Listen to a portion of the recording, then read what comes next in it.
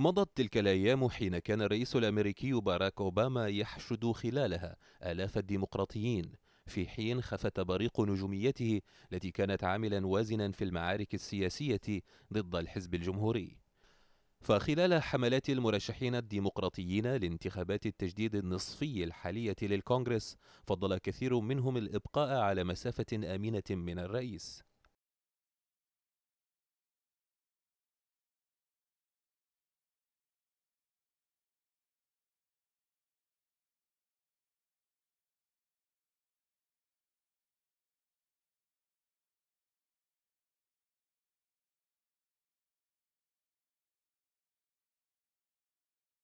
ويشعر كثير من الأمريكيين بخيبة لأن شعار الأمل الذي تبناه أوباما خلال حملته الانتخابية الأولى لم يتحول إلى نتائج ملموسة سياسيا واقتصاديا فرغم أن أجندة الرئيس الأمريكي تمكنت من انتشال البلاد من براثن الانهيار المالي عام 2008 لكن مؤشرات النمو الاقتصادي لم تخلف الأثر المرجو منها في ولايات حساسة في الانتخابات المرتقبة.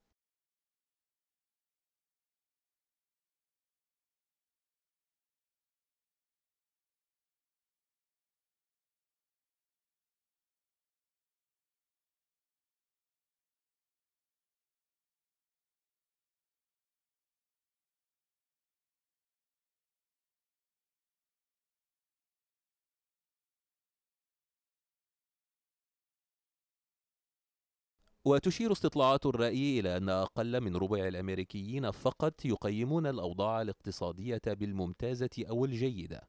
عامل يستغله الجمهوريون للطعن في سياسات الرئيس وحزبه الديمقراطي. ويبرز تراجع الأثر الإيجابي لأوباما على حزبه في تدني نسبة الديمقراطيين الذين يرون في انتخابات التجديد النصفي اقتراعا لصالح سياساته مقابل ارتفاع نسبة الجمهوريين مما يعتبرون أصواتهم اقتراعا ضد الرئيس فدي منصور الجزيرة واشنطن.